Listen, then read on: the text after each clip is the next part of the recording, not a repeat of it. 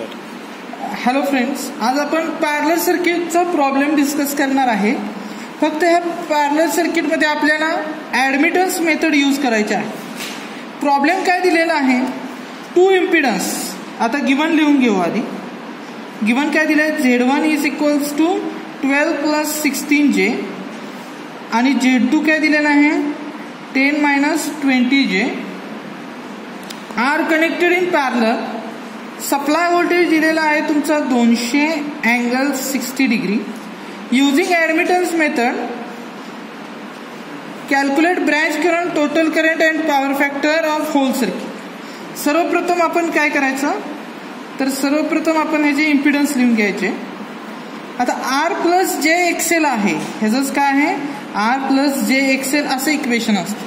ह्याच्यावरून आपल्याला काय समजतं? की हे सिक्स्टीन डिग्री हे एक्सेल आहे. आणि इथं काय असतं? R sorry R minus J X C ह्याच्यावरनं काय समजतं आपल्याला? तर हे काय मायनस आहे याचा अर्थ?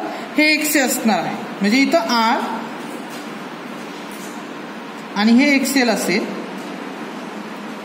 हे आर असेल आणि हे सी असेल. हे असं तुमचं सर्किट आहे.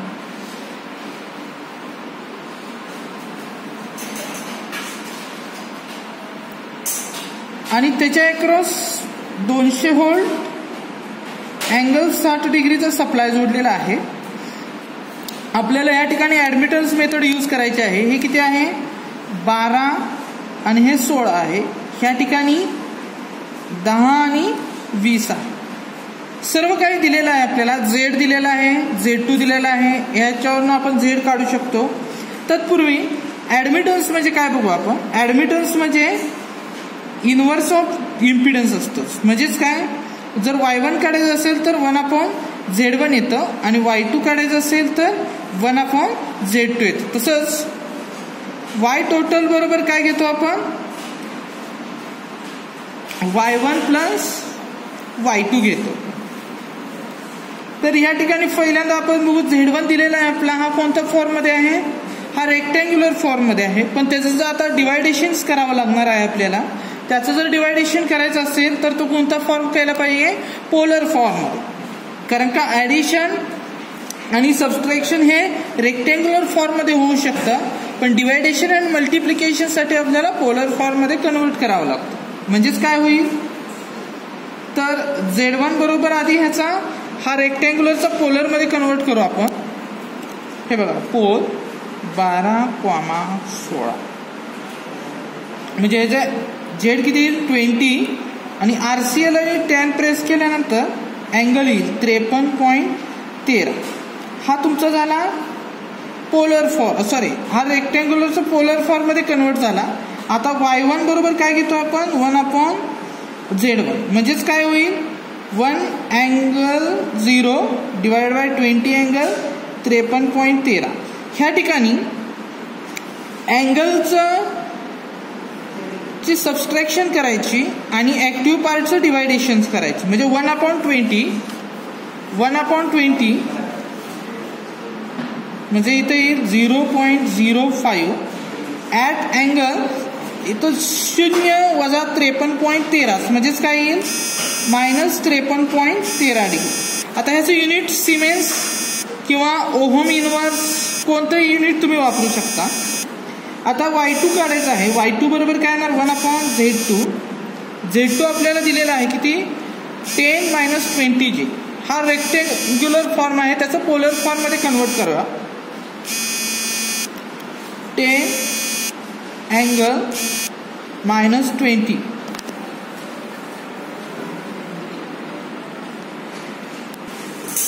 ह्या ठिकाणी काय येईल?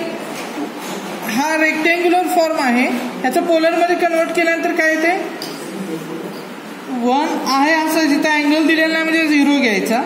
हे काही बावीस पॉईंट छत्तीस आणि R C L ten press केल्यानंतर मायनस त्रेसष्ट पॉईंट त्रेचाळ म्हणजे हे काय येईल ह्या ठिकाणी ऍक्टिव्ह पार्टचं डिवायडेशन आणि अँगलचे सबस्ट्रॅक्शन केलं जातं. म्हणजे वन डिवायडेड बाय बावीस पॉईंट छत्तीस. Zero point zero four four.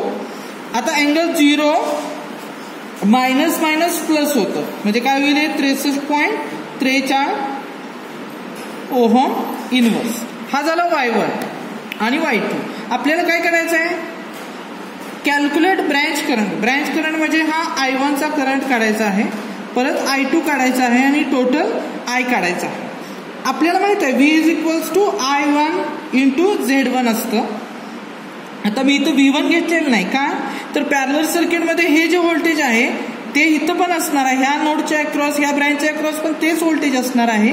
आणि ह्या ब्रँचच्या अक्रॉस सुद्धा काय असणार आहे? तेच व्होल्टेज आहे.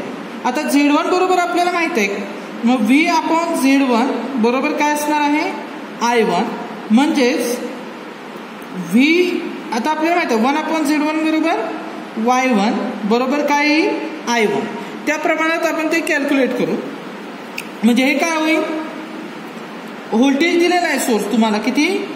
दोनशे ॲट अँगल सहा आणि वाय वन दिलेला आहे किती? Zero point zero five angle minus त्रेपन्न पॉईंट तेरा. आता ह्या ठिकाणी आपल्याला माहीत आहे. काय माहीत आहे? ह्या ऍक्टिव्ह पार्टचं मल्टिप्लिकेशन होईल. आणि मल्टिप्लिकेशनमध्ये ह्या जे अँगल आहे त्यांचे काय होते? ऍडिशन होते. आता ह्या ह्या पार्टची मल्टिप्लिकेशन केल्यानंतर काय होईल? अँसर इज व्हेरी सिंपल दोनशे गुणिले अँसर येते दहा. आता अँगलचे काय होते? ऍडिशन होते. म्हणजेच काय होईल? साठ अधिक हे वजा आहे. त्रेपन्न पॉईंट तेरा. म्हणजे अँगल येतोय सहा पॉईंट सत्याऐंशी सहा पॉईंट सत्याऐंशी डिग्री. हे झालं तुमचं आय वन आता आय टू कॅल्क्युलेट करताना सुद्धा सेम आय टू कॅल्क्युलेट करताना काय करावं लागेल? V upon Z two V तुम्हाला दिलेला आहे. Sorry V upon Z two Z two म्हणजेच काय येईल? आपण बघितलं. वन अपॉन झेड टू बरोबर वाय टू म्हणजेच काय येईल? V into Y two V किती आहे? दोनशे angle sixty into Y two किती आहे? Zero point zero four four angle त्रेसष्ट पॉईंट त्रेचाळ म्हणजेच हे किती येईल आन्सर दोनशे गुणुले पॉईंट नॉट फोर फोर हे येतं तुमचं आठ पॉईंट आठ आणि अँगल अँगलचे ॲडिशन होते म्हणजे साठ अधिक त्रेसष्ट पॉईंट त्रेचाळ म्हणजे हे येईल तुमचं एकशे तेवीस पॉईंट त्रेचाळ ह्याचं एम्पियर. युनिट काय आहे त्याचं?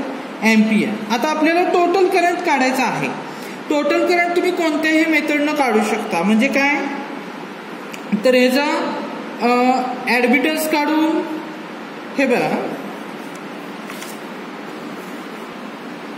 ह्याचा ऍडमिटन्स काढून म्हणजे वाय बरोबर काय ना Y one plus Y two काढून त्यानंतर V is equals to I into Z असतो. म्हणजेच काय होईल इकडे गेल्यानंतर? आय बरोबर व्ही इंटू वाय सुद्धा घेऊ शकता. ही एक मेथड आहे. किंवा आय वन बार आलेला आहे तुमचा. आय टू बार आलेला आहे. त्याप्रमाणे आय बरोबर काय येणार? I one bar plus I two ह्या दोन्हीतली कुठलीही मेथड यूज करू शकता. पण आता आपल्याला बघा हा वाय वन आणि वाय टू पण आहे. ह्याचं आपल्याला रेक्टँग्युलरमध्ये कन्वर्ट करू शकतो किंवा ह्या करंटचं सुद्धा काय करू शकतो? रेक्टँग्युलर पार्टमध्ये कन्वर्ट करू शकतो. तर करंटचं जर रेक्टँग्युलर फॉर्ममध्ये जर कन्वर्ट केलं तर ते बरं पडतं आणि लवकर येतं. करंट बघू आपण काय आहे. आय वन आपल्याला दिलेला आहे. किती दिला I one ten angle six point दहा अँगल सहा पॉईंट सत्याऐंशी डिग्री. हा कोणता फॉर्म आहे? तर हा पोलर फॉर्म आहे. आता आपल्याला अँगलची ऍडी सॉरी करंटची ऍडिशन करायचे आहे तर ते आधी रेक्टँग्युलर फॉर्ममध्ये कन्वर्ट करणं फार गरजेचं आहे. त्याशिवाय आपण ऍडिशन करू शकत नाही. हा रेक्टँग्युलर फॉर्ममध्ये कन्वर्ट केला पाहिजे. Ten comma six point eighty seven म्हणजे हे काय आलं? Nine point nine two plus J one point one nine six हा तुमचा आला I one similarly I two काय दिला आहे बघा? आय टू दिलेला आहे eight point eight eight point eight angle एकशे तेवीस पॉईंट त्रेचाळ एकशे तेवीस पॉईंट त्रेचाळ सिमिलरली हा सुद्धा पोलर फॉर्ममध्ये दिलेला आहे. त्याचा रेट त्रेचाळ आहे. हा सुद्धा पोलर फॉर्ममध्ये आहे आपल्याला रेक्टँग्युलरमध्ये करणं गरजेचं आहे. Rectangular eighty two M S जर कॅल्सी असेल तर शिफ्ट आणि पोलचं बटन प्रेस केलं की आरईसी येतं. आरईसी म्हणजे ज्या फॉर्ममध्ये आपल्याला कन्वर्ट करायचा आहे तो फॉर्म इथे येतो. आरईसी म्हणजे रेक्टँग्युलर फॉर्ममध्ये आपल्याला कन्वर्ट करायचा आहे. म्हणून आपण तो फॉर्म घेत आहे. एट पॉईंट एट क्वामा एकशे तेवीस पॉईंट त्रेचाळ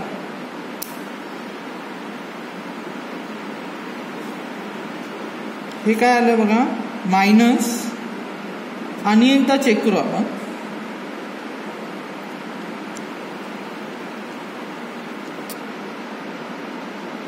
minus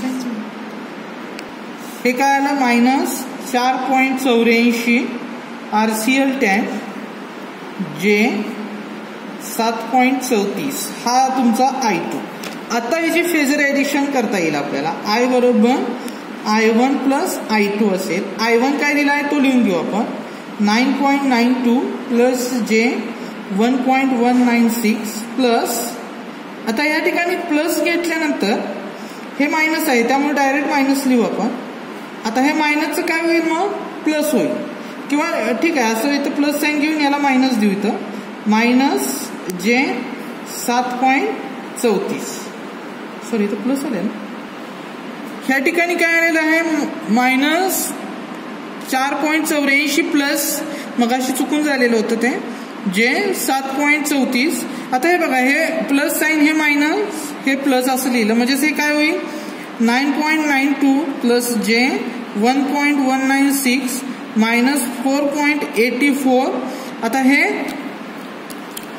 plus J seven point thirty four आता ह्यामध्ये सुद्धा ऍडिशन करताना ऍक्टिव्ह पार्टचीच करायचे आहे. म्हणजेच हे काय होईल? Nine point nine two minus four point eighty four हे किती येते? पाच पॉईंट झिरो आठ. आणि रिॲक्टिव्ह पार्टची सुद्धा ॲडिशन आहे तर म्हणजे one point one nine six plus seven point thirty four. म्हणजे हे काय येईल प्लस जे फायू थ्री सिक्स हा तुमचा टोटल करंट आला. हा रेक्टेंग्युलर फॉर्म ह्याला जरी पोलर फॉर्ममध्ये कन्वर्ट करायचं असेल तरी करू शकतो आपण. पाच पॉईंट झिरो आठ क्वामा आठ पॉईंट पाच तीन सहा. हे किती आलं? Nine point nine three angle